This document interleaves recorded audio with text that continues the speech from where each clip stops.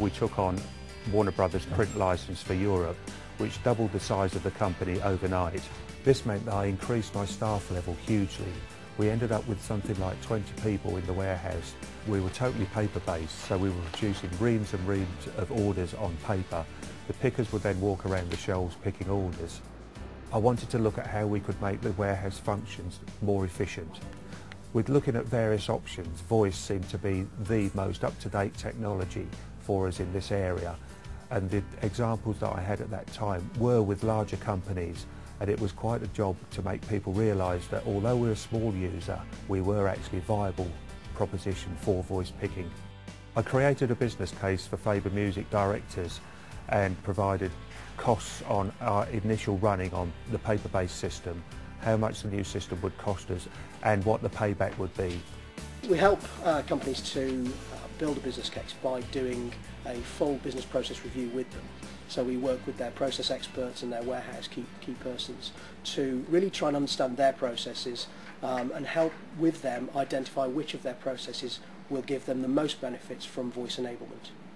I initially estimated that a payback with the new system would be 18 months, but in effect it came in on 13 months. Bringing in voice has totally removed the use of any paper whatsoever.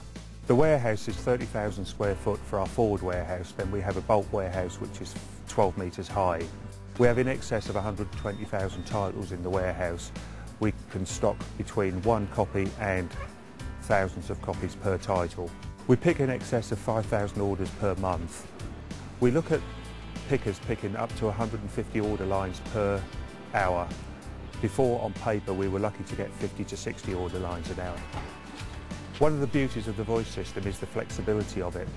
On paper picking we used to have a huge problem where the pickers would go and pick an orchestral score but rather than picking the whole score what they would do was just pick violin part one for instance. So what we did with the system is we've been able to design it in such a way that when the system tells you to go and pick one item it will say one copy, one CD, one DVD or one set and this way we've been able to minimise quite a number of our pick errors that we were having previously. The primary benefit of using voice technology in the warehouse is enabling warehouse operatives to operate hands-free and eyes-free.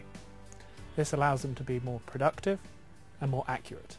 It takes a lot more time by picking by paper because you're always looking down at the invoice rather than the voice. The voice is in your ear, tells you what to do and you pick it. Yes, it's, it's more accurate and we get our jobs done uh, much more quickly. The great advantage of voice is because it requires minimal training, no more than 20 minutes per person perhaps. You can get new people in and have them up and skilled and productive. It allows you to cut back the amount of time that goes into new people, contractors, and just adjust your workforce accordingly. We were the first in our industry to implement the voice system and this has been received very well. This has also helped us to gain extra catalogues for distribution as well as promoting our own products worldwide. Voice has helped us in the current economic downturn by making us much more recession-proofed. As Faber themselves have said, they've actually been able to create a much leaner and more agile business. We've been able to make huge savings by making the business less reliant on headcount.